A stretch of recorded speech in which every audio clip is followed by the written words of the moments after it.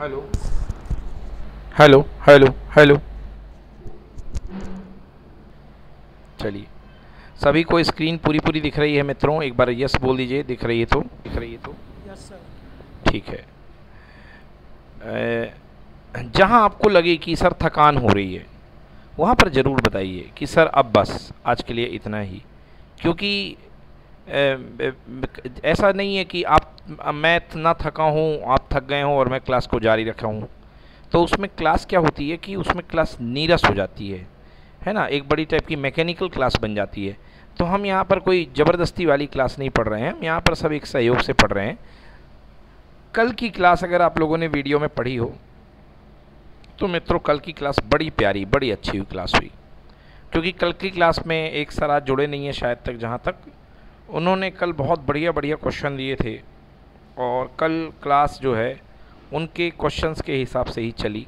और ये जो आप मेरी स्क्रीन में क्वेश्चन देख रहे हैं टिग्नोमेट्री के इंटीग्रेशन के, ये सारे क्वेश्चन कल अपन ने कराए थे। ये ये सारे जो क्वेश्चन पिछले वर्षों में जो एग्ज़ाम में आए हुए हैं, ये सब कल अपन लोगों ने कराए थे क्वेश्चंस ठीक है ना? यस आइए बात करते हैं, आज करना है क्वेश्चन नंबर 129 से। क्वेश्चन नंबर 129 आज हमको बताना है। तो क्वेश्चन नंबर 129 आपको बच्चों दिख रहा है। टीजीटी का आया हुआ क्वेश्चन है। एक एक व्यक्ति एक लिफ्ट में खड़ा है, जो कि एफ़ त्वरण से जो लिफ्ट है, ये ऊपर की ओर जा रही है। उस व्यक्ति को भारी महसूस होगा, वास्तविक भार का कितने गुना? वास्तविक भार का कितने गुना? चलिए मित्रों तो एक बार सभी लोग बता दें अपनी अपनी आवाज़ में माइक ऑन करके क्या आप लोगों को प्रश्न एकदम क्लियर दिखाई दे रहा है? आवाज़ एकदम स्पष्ट सुनाई दे रही है दे रही है। Yes sir okay sir. Yes sir दिख रहा है क्लियर जी धन्यवाद। अब आप लोग म्यूट कर लें और जहाँ पर आवश्यकता हो वहीं पर आप मुझे बताइएगा तो मैं वहाँ पे आगे बताऊँगा। आइए मित्रों। तो देखिए भैया ये आपके सवाल है सवा, सामने सवाल है। इसमें कहा जा रहा है प्लीज़ माइक म्यूट कर लीजिए। इसमें ये कहा जा रहा है कि एक जो लिफ्ट है, एक व्यक्ति लिफ्ट में खड़ा है जो कि एफ़ त्वरण से ऊपर की ओर जा रही है। अब यहाँ पर आप जो है लिफ्ट कंसेप्ट थोड़ा सा समझ लीजिए। जो लिफ्ट कंसेप्ट है, उसको आपको यहाँ पे समझना पड़ेगा। अगर आपको लिफ्ट कंसेप्ट बनता है तो ये क्वेश्चन हो जाएगा। अब लिफ्ट कंसेप्ट होता तो बहुत बड़ा है। मान लीजिए मित्रों, यहाँ पर कोई आपके पास लिफ्ट है और इसमें कोई व्यक्ति व्यक्ति का भार नीचे की तरफ़ का कितना लगता है? एम और ऊपर लगता है क्या? इसका प्रतिक्रिया बल आर तो नीचे की तरफ़ लगती है क्रिया और ऊपर की तरफ़ लगती है इसकी प्रतिक्रिया आर तो सामान्य परिस्थिति में जो प्रतिक्रिया बल होता है, वो एम के बराबर होता है। और आर जो होता है आर मतलब रिएक्शन तो जब आप नीचे नीचे कोई वेइंग मशीन रखते हैं तो वेइंग मशीन जो होती है वेइंग मशीन मतलब भार तोलने वाली मशीन वो आपकी क्रिया की विपरीत प्रतिक्रिया का जवाब देती है। मतलब भार नापने वाली मशीन में जो बल आता है, वो प्रतिक्रिया बल होता है। अब आप समझिए इस चीज़ को, जब आप कभी झूले में बैठते हैं और झूला ऊपर की तरफ़ नीचे से जाता है तो वो ऊपर की तरफ़ त्वरित होता है। ऊपर की तरफ़ क्या होता है? त्वरित होता है। मान लीजिए झूला ऊपर की ओर त्वरित हो रहा है तो ऊपर का त्वरण कितना हो जाएगा? एम ए ऊपर का ऊपर का जो बल हो जाएगा, कितना हो जाएगा? एम ए क्यों हो जाएगा? क्योंकि आपका द्रव्यमान है एम और लिफ्ट का या झूले का त्वरण है ए तो न्यूटन साहब ने कहा कि नेट बल बराबर एम ए एफ़ बराबर एम ए कुल बल बराबर एम इंटू ए अब इस पर कुल बल कितना लग रहा है? देखिए, ऊपर की तरफ़ आर है और नीचे की तरफ़ एम है। तो यहाँ आएगा ऊपर है आर और नीचे की तरफ़ एम तो आर माइनस एम जी बराबर एम ए तो R equal to M G plus M A तो R equal to M common आ गया। क्या आ गया? जी प्लस ए तो देखिए, यदि कोई लिफ्ट ऊपर की तरफ़ जाती है तो आपका भार बढ़ता है और वो भार बढ़ा हुआ कितना होता है? R M G plus A क्योंकि ये जो भार होता है, ये लिफ्ट के त्वरण के कारण भरता है, बढ़ता है। इसलिए इसको बोलते हैं आभासी भार। इसलिए इसको बोलते हैं आभासी भार। ठीक है? अब आपसे क्या कह रहा है? कि जो आभासी भार है है ना, वो कह रहा है, ऊपर की ओर जा रही है व्यक्ति को भारी महसूस होगा। आपको बताना है कितना भारी महसूस होगा। ओके, कितना भारी महसूस होगा। तो यहाँ पर जो त्वरण है, मैंने ए लिया है, उसको इन लोगों ने एफ़ ले लिया है। तो जो बल होगा, वो कितना होगा? R equal to M G plus M F. इस सवाल के हिसाब से M G plus M F. ठीक है ना? M G plus M F. मतलब R equal to M G plus M F आ गया है हमारे पास में। ठीक है ना? तो यहाँ पर बढ़ोतरी कितनी हुई? बढ़ोतरी कितनी हुई है देखिए यहाँ पे। था कितना एक्चुअल एम जी और बढ़ कितना गया है? कितना एम एफ़ मतलब बढ़ा हुआ जो भार है, वो कितना है? बढ़ा हुआ भार है एम एफ़ बढ़ा हुआ भार बराबर कितना है? एम इंटू एफ़ ये बढ़ा हुआ भार है। मतलब कि अतिरिक्त भार। जिसको आप कह सकते हो अतिरिक्त भार, क्योंकि अगर लिफ्ट नहीं चलती तो भार कितना होना था? एम जी मगर भार बढ़ गया है तो कितना हो गया? एम एफ़ अब आपको कह रहा है कि भारी कितना महसूस होगा? कितना? तुलना करनी है तो तुलना करनी है मतलब आपको भाग देना होगा। तो बढ़ा हुआ भार कितना है? एम एफ़ और वास्तविक भार कितना है? एम तो एम से एम कैंसिल आंसर ये जो कितना भार बढ़ गया है एफ़ बाई जी गुना। मतलब जो वास्तविक भार है वो एफ़ बाई जी गुना बढ़ गया है।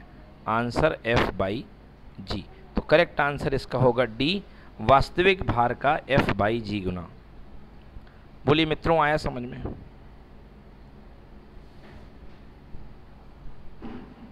हेलो?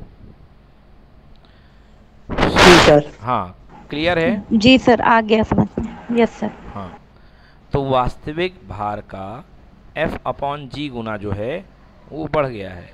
क्योंकि कितना भार बढ़ा? एम एफ़ और तुलना किससे करनी? वास्तविक भार से। तुलना करना मतलब क्या होता? है भाग देना। किसी चीज़ के लिए तुलना करना मतलब भाग देना। तो आंसर कितना आएगा? M G F by G ये देख लीजिए correct answer F by G चलिए, अगला क्वेश्चन यदि किसी क्षण को छैत यदि किसी कण को क्षैतिज से 45 डिग्री अंश का कोण बनाते हुए उनचास रूट टू की दिशा से प्रक्षेपित किया जाता है।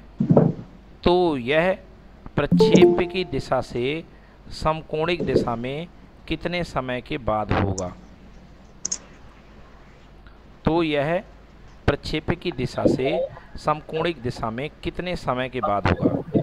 मित्रों, ये जो एक सवाल है ये सवाल वही स्टूडेंट कर पाया होगा टीजीटी 2011 का, जो इस सवाल को पढ़ के गया होगा घर से। मतलब जो बहुत फिजिक्स में जिसका कंसेप्ट बहुत अच्छे वाले हों वही सवाल कर पाया होगा। अदरवाइज़ बहुत लोगों ने तुक्का लगाया होगा इस सवाल में। आइए देखते हैं क्या कह रहा है ये। ये क्वेश्चन कह रहा है कि एक कण है, एक कण को क्षैतिज से 45 डिग्री कोण पर बनाते हुए फेंका जाता है। तो ये लीजिए भाई साहब, आपने क्षैतिज से 45 डिग्री कोण बनाते हुए एक कण को आपने फेंक दिया। तो ये कण गया और ये लौट करके वापस आ गया। जी हाँ। अब बच्चों, प्रक्षेप गति का एक नियम होता है। प्रक्षेप गति का नियम ये होता है कि आप जितने कोण से, क्षैतिज से इसको दागोगे टकराने के समय इसका कोण उतना ही होगा। मतलब अगर आप 45 से दाग रहे हो तो टकराते समय इसका जो वेग होगा, वो कितना कोण बनाएगा? 45 डिग्री। जी हाँ। तो ये कोण जो होगा, टकराते समय मतलब फाइनल वेग वी तो जितना वेग u से फेंकोगे, उतना वेग v से टकराएगा, और दोनों प्रारंभिक वेग और अंतिम वेग बराबर भी होते हैं। अब ये सारे रिज़ल्ट आपको खैर, इससे मतलब नहीं है कि ये कैसे आते हैं। जो काम की चीज़ है उसको आप याद कर लीजिए कि हाँ भाई, प्रारंभिक वेग और फाइनल वेग बराबर होते हैं। कह रहा है कि प्रक्षेप की दिशा से समकोणिक दिशा में वह कितने समय बाद होगा? मतलब कितने समय बाद प्रक्षेप की दिशा से जो वेग है वो समकोणिक दिशा में हो जाएगा। समकोणिक मतलब 90 डिग्री। अब देखिए भाई साहब, ये क्वेश्चन पूरा पूरा अनुभव और प्रैक्टिस का था। आप इस सवाल को देखिए, यदि आप इसको आगे की तरफ़ बढ़ाएँ और इसको वेग को पीछे की तरफ़ बढ़ाएँ तो देखिए ध्यान से क्या है, ये 45 है, ये 45 है तो ये एक त्रिभुज बन रहा है और इस त्रिभुज में ये कितने डिग्री हो गया? 90 डिग्री। मतलब क्या हुआ कि वेग 90 डिग्री पे कब होगा? तो 90 डिग्री पे कौन सा वाला वेग है? 90 डिग्री पे फाइनल वेग है। ये अंतिम वेग जो आपको दिख रहा है, ये 90 डिग्री पे दिखाई दे रहा है ये वाला। क्योंकि महसूस कर लीजिए कि प्रारंभिक वेग की दिशा 45 है और 45 के साथ 90 डिग्री का वेग कौन बना रहा है? यही वेग बना रहा है तो कह रहा है, कितने समय के बाद यह समकोणिक दिशा में होगा? तो आंसर टकराते समय। और टकराने का जो समय होता है, वो कितना होता है? उड़ान काल टी जो मैंने आपको पढ़ाया था, टू यू साइन थीटा बटे जी। ये मैंने आपको पढ़ाया था, two U sine theta by G, जिसको अपन उड्डयन काल बोलते हैं। उड़ान काल जो होता है, जिसको उड्डयन काल बोलते हैं, two U sine theta by G, इतने समय के बाद ये प्रक्षेप जो होता है, वापस आ जाता है। तो 45 पे फेंकोगे तो 45 पे आएगा। और दोनों के बीच का जो कोण है, वो 90 डिग्री है, और दोनों एक दूसरे के समकोणिक हो जाएँगे। तो आइए समय निकालते हैं। तो भैया टू, यू की वैल्यू कितनी है? 49 nine root two. Sine theta, sine forty five, one upon root two, upon G कितना होता है? 9.8 ब्रेक कर दीजिए तो ऊपर बन जाएगा 10 चलिए काटिए। उनचास दूने अंठानवे, दो से दो कैंसिल और रूट टू से रूट टू कैंसिल। आंसर कितना आया? 10 सेकेंड। नोट कर लीजिए। तो ये जो क्वेश्चन है इस पर कोई फॉर्मूला नहीं लग रहा है। इस पर केवल अनुभव लग रहा है। जो इस थोड़ी सी फिजिक्स में अप्रोच रखता है वो इस क्वेश्चन को कर लेगा। चलिए मित्रों नोट कर लीजिए फटाफट और यदि हो समझ में आ गया है तो यस बोल दीजिए तो हम आगे बढ़ जाएँ। हाँ सर समझ में आ गया। जी। चलिए तो अब अगला क्वेश्चन करते हैं और अभी हमारे साथ दस लोग जुड़े हुए हैं। अभी ग्यारह हो गए थे मगर कुछ लोगों ने छोड़ दिया अभी ग्रुप ठीक ना? तो दस लोग हैं। पाल मैडम नमस्ते। कल आप जुड़ी थी क्या पाल मैडम? नो सर कल नहीं जुड़ पाए थे। अच्छा अच्छा अच्छा अच्छा ठीक है। तो जिस दिन आप लोगों को पढ़ने का मन ना हो तो बता दिया करिए है ना? तो उसमें कोई वो वाली बात नहीं है। हो सकता है आप लोग संडे वगैरह को बाहर जाते हो कहीं टाइम वगैरह आप लोग को लग जाता हो गाँव वगैरह गए थे जैसे कुछ लोग। तो इसमें कोई वाली बात नहीं है।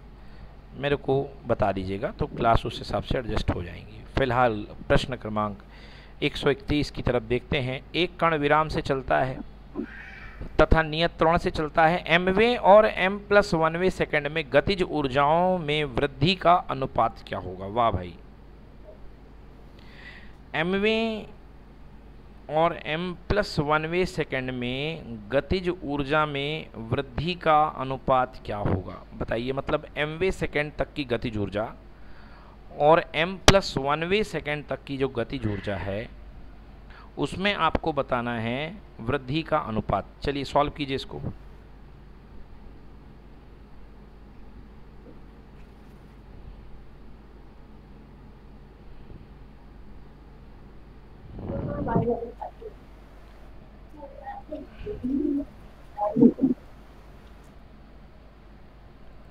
एम वे और एम प्लस वनवे सेकेंड में गतिज ऊर्जाओं में वृद्धि का अनुपात। बल्कि मैं ये कहूँगा कि इनकी गतिज ऊर्जाओं का अनुपात भी आप निकाल सकते हैं। यदि ये कह दे कि इनकी गतिज ऊर्जाओं का अनुपात तो ये भी कहना गलत नहीं होगा।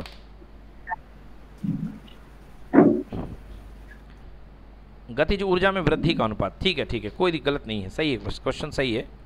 गतिज ऊर्जा में वृद्धि का अनुपात। चलिए ये भी बताइए, समझ में आ रहा कि नहीं आ रहा? कैसे करना कुछ दिमाग लग रहा कि नहीं लग रहा?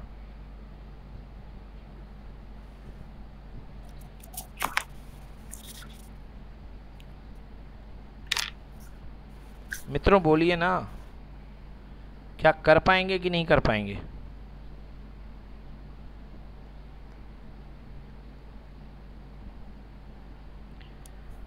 देखिए, गतिज ऊर्जा में वृद्धि, गतिज ऊर्जा में वृद्धि, वर्क ऊर्जा प्रमेय, कार्य ऊर्जा प्रमेय कहती है, गतिज ऊर्जा में वृद्धि बराबर किया गया कार्य, गतिज ऊर्जा में वृद्धि बराबर किया गया कार्य तो गतिज ऊर्जा में जो वृद्धि होती है, वो किए गए कार्य के बराबर होती है। तो कुल मिलाकर के आपको आपको एमवे सेकेंड में किया गया कार्य और m प्लस वनवे सेकेंड में किए गए कार्य का अनुपात निकालना है और आपके पास उत्तर आ जाएगा। मतलब आपको क्या चाहिए? है आपको निकालना है एम वे सेकेंड में किया गया कार्य और एम प्लस वन वे सेकेंड में किया गया कार्य। ठीक है ना? तो किसका अनुपात चाहिए है? एम वे और एम वे सेकेंड की गतिज ऊर्जा की वृद्धि का अनुपात। तो आपको निकालना है एम वे सेकेंड में किया गया कार्य